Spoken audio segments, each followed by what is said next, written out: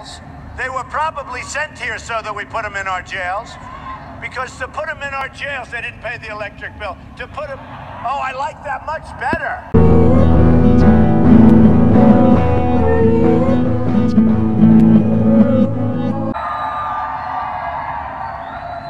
Oh, that's so much better. Those lights were brutal. Are they come from the dishonest press? Where? Oh, don't turn them on. Forget it. Better, right? Don't turn them on. Don't turn the lights on. Plus, we save on electricity, right?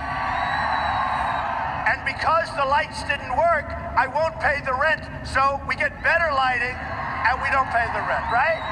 Right? No, get those lights off. Off.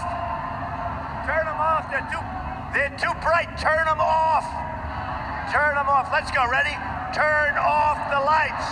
Turn off the lights. Turn off the lights. Turn them off.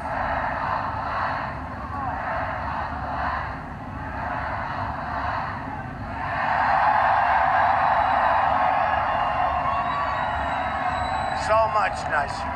No, no, that's the way we have to negotiate for our country. I should be so lucky.